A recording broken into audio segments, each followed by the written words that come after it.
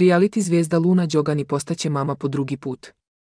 Srećne vesti objavila je na društvenoj mreži Instagram kada je slikala test, a potom objavila snimak njenog supruga Marka i čerke Mije kada im saopštava ovu divnu vest. Cela porodica sada slavi i čestita Đoganijevoj na blagoslovenom stanju.